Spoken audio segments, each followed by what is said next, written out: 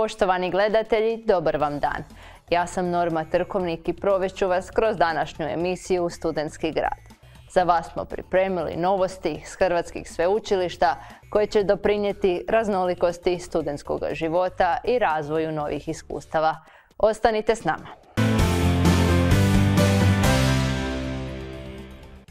U ovoj tjednoj emisiji Studentski grad donosimo s klubom mladih MSU-a prošetali smo se šarenom izložbom Ratka Petrića Baciti istinu u lice.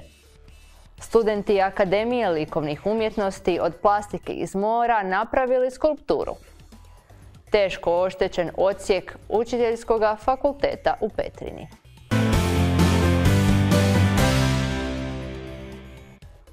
Neobična, intrigantna, uvrnuta, izbunjujuća. Samo su neki od epiteta koji prate suvremenu umjetnost. No prije svega to je umjetnost često sa snažnim društvenim porukama, koja je utjecala na društvene događaje modernog svijeta, a i obilježavala ih. Modernoj umjetnosti svoj rad je posvetio klub mladih MSU-a, u čijem smo društvu prošetali izložbom Ratka Petrića Baciti istinu u lice. Koliko zadivljuje svojom pojavom i veličinom izvana, toliko i oduzima dah iznutra. Muzej suvremene umjetnosti tik iza praga Novog Zagreba osim što je mjesto okupljanja najvećih umjetničkih imena iz cijeloga svijeta, pruža i mladim entuzijastima suvremene umjetnosti oazu pijanja novog znanja i rasprave o njima zajedničkoj temi. Stroj zaljubljenika u često neshvaćen umjetnički pravac prošetali smo se izložbom Ratka Perića, jednog od najintrigantnijih hrvatskih suvremenih umjetnika i saznali nešto više o radu kluba mladih muzeja suvremene umjetnosti. Klub mladih MSU je skupina mladih ljudi koji su zainteresirani za umjetnost u dobi od 15 do 25 godina i bavimo se ovako proučavanjem funkcioniranja muzeja, izložba, koje kakvim projektima koje raspisuje Europska unija ili koji si mi sami zadamo. Klub mladih je osnovan zbog projekta Europske unije Museum of Toolbox, kojim je cilj bio približiti mlade muzejima i suvremene umjetnosti i nakon tog smo mi nastavili sa svojim radom. Dakle, nakon što je taj projekt zatvoren, bavili smo se nekim malim stvarima tu u muzeju. Inače, za taj, muzej za taj projekt organizirali smo mi svoju izložbu.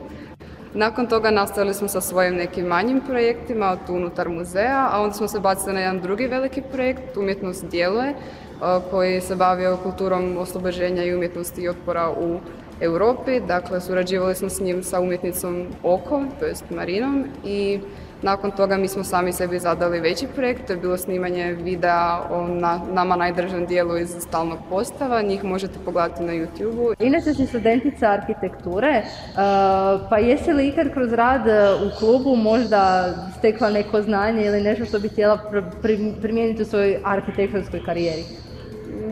Pa i da i ne, u smislu više sam saznala neke stvari o arhitektima koji su ujedno bili i umjetnici. Tako da ne znam, na faksu dosta često spominjamo ne znam, nove tendencije, što je meni bilo super jer kao bilo sam s tim i prije nego što smo ih uopće spomenuli. I sad kad smo imali ovu izložbu animacija Zagreb filma, isto se hrpa arhitekata je radila na animaciji što uopće nisam znala. Tako da eto, saznam fora stvari i zapravo obožavam i to što studiram arhitekturu i što sam u klubu mladih.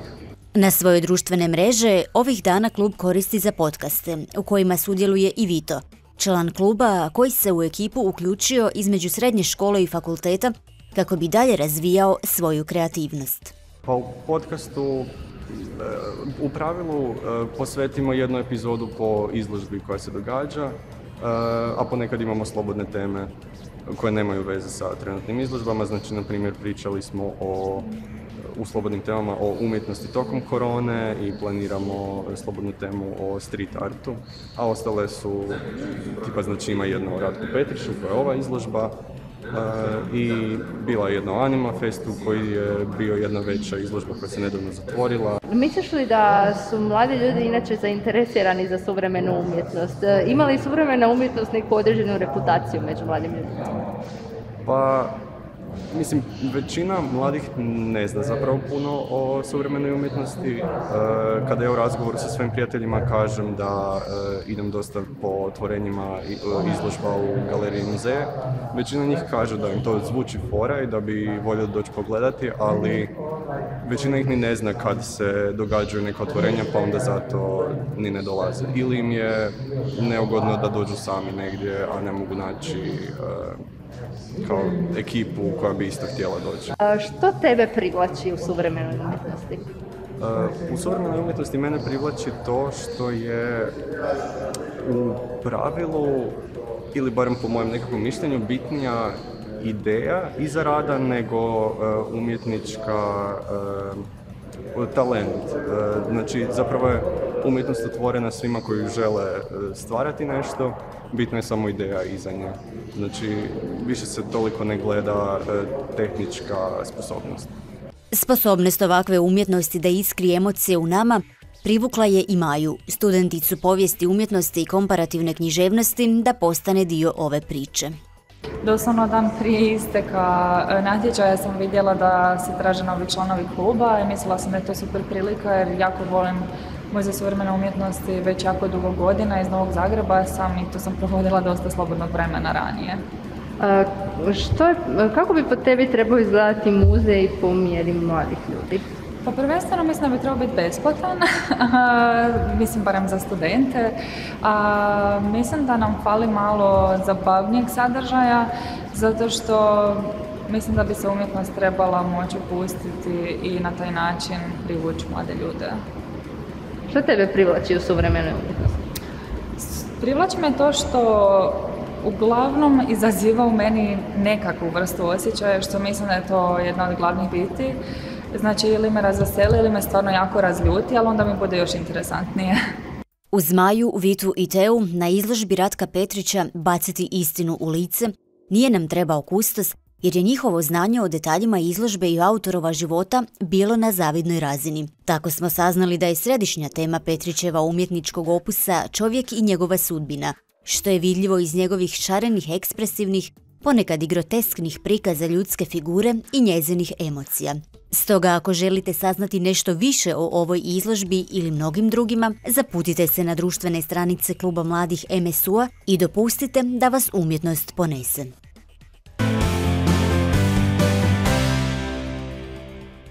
A sada pogledajmo vijesti iz znanosti i obrazovanja.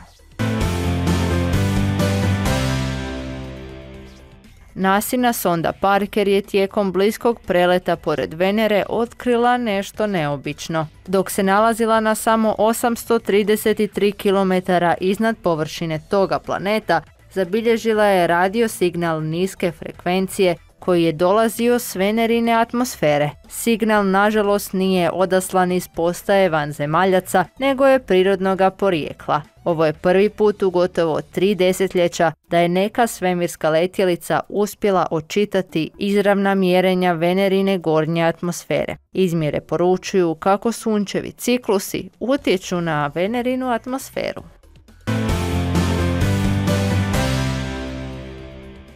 Otkrivena je glava mramornog kipa cara Augusta stara 2000 godina. Glava je visoka oko 35 cm i bila je dio kipa visokog više od 2 metra, a prikazuje mladog Augusta, koji je prvi car Rima postao 27. godine prije Krista. Smatra se da je kip bio dio hrama posvećenog kultu carske obitelji. Glava je pronađena u talijanskom gradu Iserniji. August je rođen inače u Rimu pravim imenom Gaj Octavije Turin i do kraja svoje vladavine proširio je Rimsko carstvo od Velike Britanije do Egipta.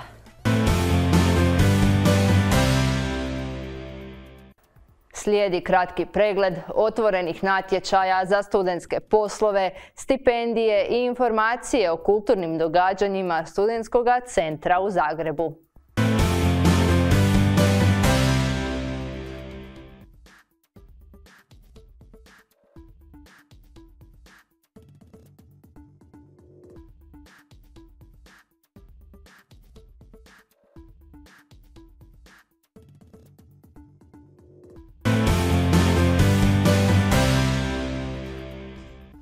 Od plastičnog smeća kojeg su ulovile ribarske mreže, studenti Akademije likovnih umjetnosti napravili su skulpturu. plastičnu morsku kornjaču.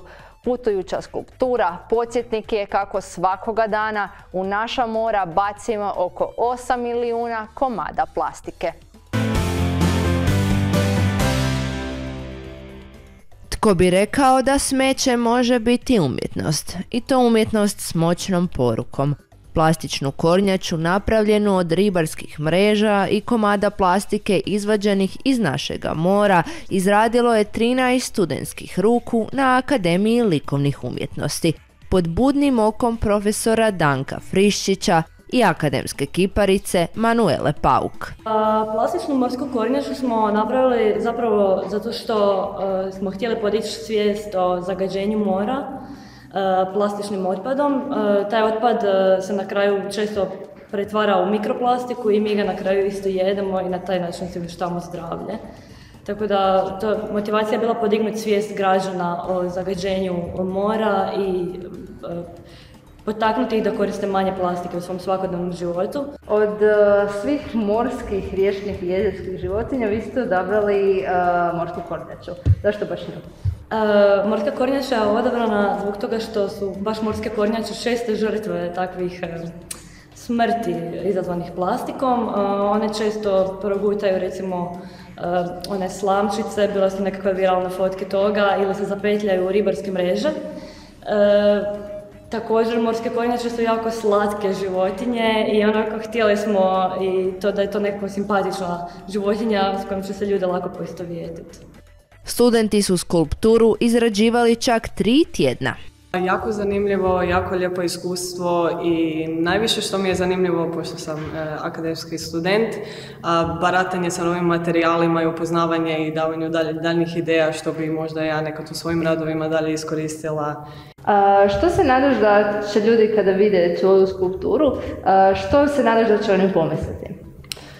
A kako zapravo iz nečega što bacamo svaki dan i čemu ugrožavamo sami sebe a i onda i životinje, možemo zapravo učiniti neko umjetničko dijelo koje, bi se, koje će se svi diviti i bit će prekrasno na kraju krajeva. Možeš li mi reći kako ti je bilo izrađivati plastičnu morsku kornjaču? Bilo mi je jako interesantno, baš zbog toga što se podiže to neka svijest građana, a mislim da je to jedna umjetnička poruka koja potiče ljude da razmišljaju o dobrobiti naše planete.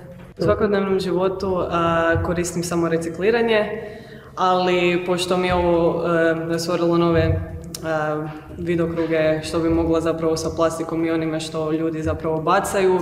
Može se puno toga zapravo iskoristiti na pozitivan način bez da zagađujemo okoliš i ostale životinje u moru. Projekt je napravljen u suradnji s udrugom OACM, koja svoje djelovanje je posvetila čistoći morskih voda i održavanju kvalitete mora. To je ogromna kornjača, ona ima 7 metara i ona je cijela napravljena od otpadne plastike. E, to je zapravo jedna kap te plastike. Ta plastika se nalazi svugdje. Ako se vozite, vozite na primjer, kroz Bosnu prema Sarajevu, onda vidite onako da su jezera prekrivena tom, tom plastikom. I mislim da ljudima općenito nedostaje ta svijest o tome koliko se toga nalazi i nevidljivo ispod površine i koje efekte to izaziva. Pa smo sa, sa tim, što je nekako ogromno iz naše perspektive e, ljudi, ogromne veličine ta skulptura, e, htjeli smo pokazati koliko te plastike zapravo ima okolo nas da mi ne primjećujemo. kako je izgledala sama, sam proces izrade te kornjače? Što ste točno koristili, koliko vam je trebalo? E, ne znam točno količinu materijala, no ima ga, bilo ga je jako, jako puno. To su bile hrpe i hrpe e, plastike, nismo vagali.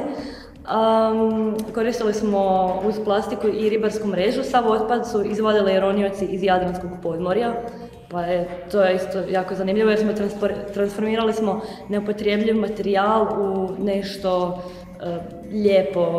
U nadi kako bi osvijestila svoju poruku, Kornjača je krenula na put po lijepoj našoj. Trenutno je Kornjača u Varaždinu, kasnije se planira, e, planira biti u Vukovaru i dalje po, po čitavoj Hrvatskoj. U scenariju gdje će se stvari nastaviti ovako kako idu sada, Očekuje se da će ocean do 2025. godine sadržavati jednu tonu plastike na svake tri tone ribe, a do 2050. godine moglo bi težinski biti više plastike no riba. Stoga ako već niste, krajnje je vrijeme da uporabu plastike svedete na minimum i krenete redovito reciklirati.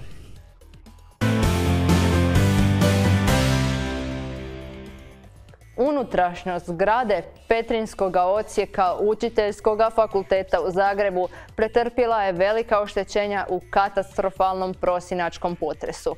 Razmjeri oštećenja su veliki i procjenjuju se na više od 17 milijuna kuna, što otežava nastavu. U prosinačkim potresima, posebice onom katastrofalnom koji je Petrinju pogodio 29. prosinca, teško je oštećena izgrada ocijeka Učiteljskog fakulteta u Petrinji, premda se to izvana gledajući zgradu fakulteta i ne bi dalo zaključiti. No pravi razmjeri štete vidljivi su ulaskom u unutrašnjost. Zgrada fakulteta unutar znači, je gotovo cjelokupno uništena, e, svi zidovi su unutra, da tako kažemo, e, dobili svoj dio. E, štete su ogromne, e, procjene su znači 14 milijuna kuna plus PDV, znači možemo reći preko 17 milijuna kuna štete u procjenama.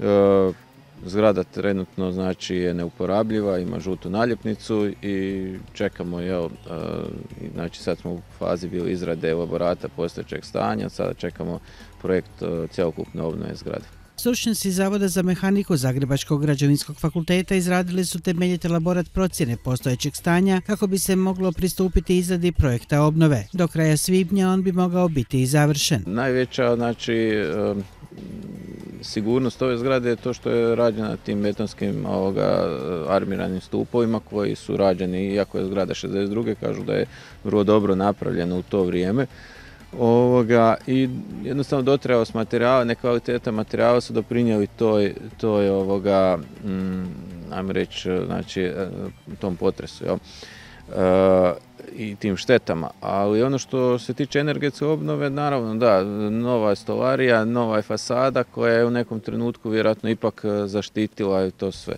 Najveći problem je bio ovaj, što kažu stručnjaci da je e, unutar tog stepeništa koje drži evo, zgradu od, od temelja znači do gore do, do drugog kata došlo je do te rotacije i ona je uništila u biti te, te zidove unutra potresu je oštećena i vrijedna oprema fakulteta. Ono što smo uspjeli spasiti, e, sada smo ga stavili na sigurnije lokacije unutar prizemlja. E, ministarstvo odmah nakon mislim tjedan dana, tu je bio i nakon drugi dan je bio ministar Fuchs i e, državni tajnik Stipe Mamić, oni su nam omogućili znači kupovinu 50 e, računala koje smo odmah koje ćemo iskoristiti kasnije u budućnosti za nastavni proces i odmah smo pomogli i studentima koji su nastradali u potresu i profesorima isto tako.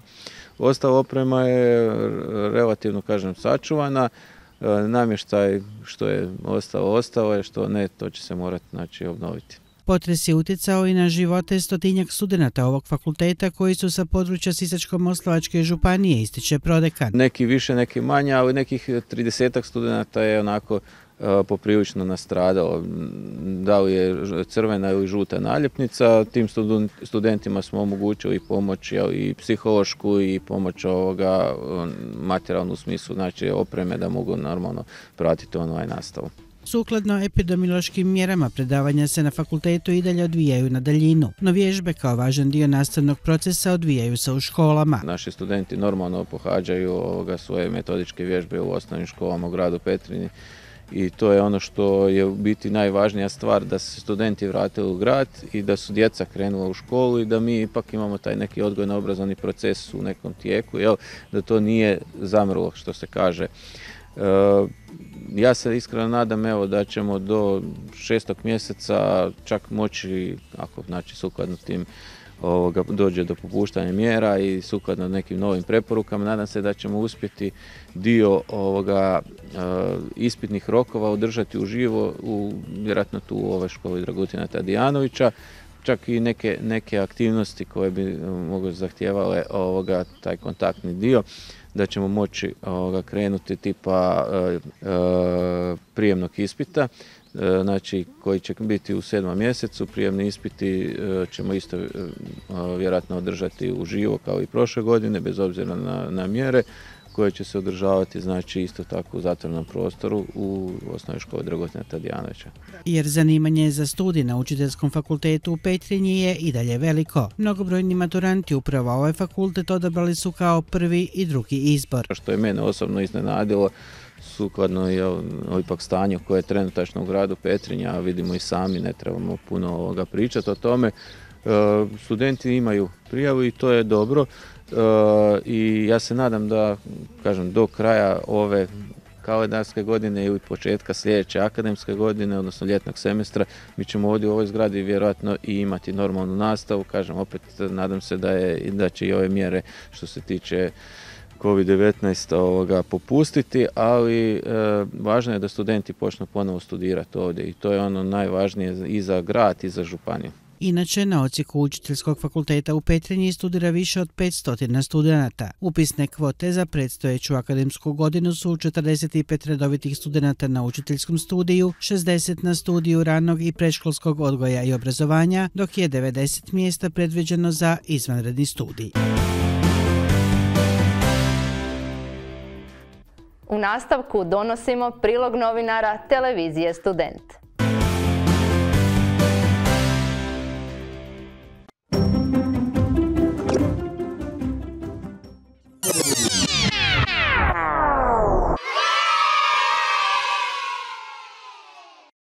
Ovo ispred čega se trenutno nalazim možda izgleda kao mala knjižnica ili čitaonica, no riječ je o prostoru udruge Vestigium, koju u svrhu povezivanja lokalne zajednice organiziraju razne aktivnosti za svoje članove. Čula sam kako je danas na redu počesno crtanje, a mislim da bi bilo najbolje da uđemo unutra i od polaznika i voditeljice saznamo nešto više o ovoj umjetničkoj tehnici. A da i ja probam nešto novo. Bok! Bok! A odustali onda opet? Idem pitati ali ja mogu probati. Mogu ja dobiti jedan papir? Samo. Izvoli. Hvala. I ako mi možete ukratko objasniti kako se to sada radi? Uzmi marker, Mhm. opusti se. E, nemoj ništa analizirati, nemoj imati sliku u glavi. Nego Mhm. dopusti da te ruka i tvoje srce vodi i da vidiš što će ti izaći na papiru. Ok, hvala. Prije deset godina predsjednica Vestigiuma Irena je s prijateljicom unajmila prostor i na vlastitu inicijativu počele su provoditi aktivnosti. Zanima me kako je došlo do ideje za ovu radionicu. Pa crtam od srednje škole i kad sam došla u udrugu u Vestignu na neke radionice, pitala sam Irenu da li bi tu mogli crtati sa ekipom. Ona je rekla slobodno, napravi e, event preko Facebooka, pozovi ljude, opiši šta bi htjela raditi i tako je došla ideja za podsvjesnu crtaonicu gdje, evo, družimo se, crtamo svaki I koliko utorak. često? Aha, svaki Pa svaki utorak, Mhm. da.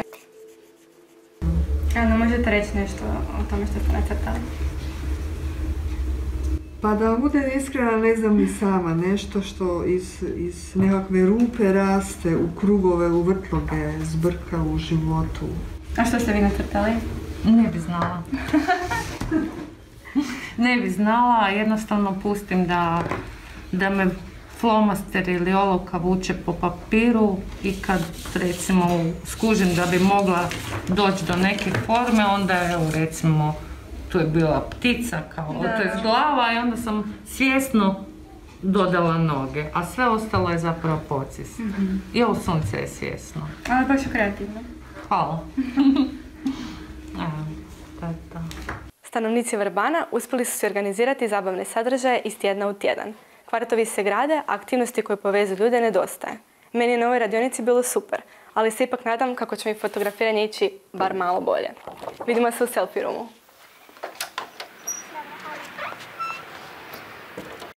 Dragi gledatelji, to je bilo sve u ovotjednom izdanju emisije Studentski grad. Za više informacija pratite nas na YouTube kanalu Mreže TV ili nam pišite na studentskigrad.mreza.tv. Vidimo se za tjedan dana i srdačan vam pozdrav!